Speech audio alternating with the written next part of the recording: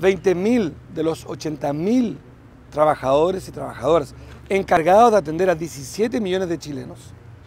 20.000, solo 20.000 tienen condiciones laborales normales. Muchos otros trabajadores municipales en este día lo saben, están a fin de mes y no van a cotizar,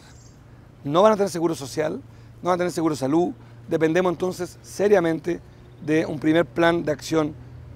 importante que entienda que los municipios son la puerta de entrada en materia municipal, en materia de patentes municipales, de autonomía financiera, de incorporar a los trabajadores municipales en la misión de un alcalde, en terminar con la pitutocracia, con el castigo y el premio al trabajador municipal que depende de un resultado electoral.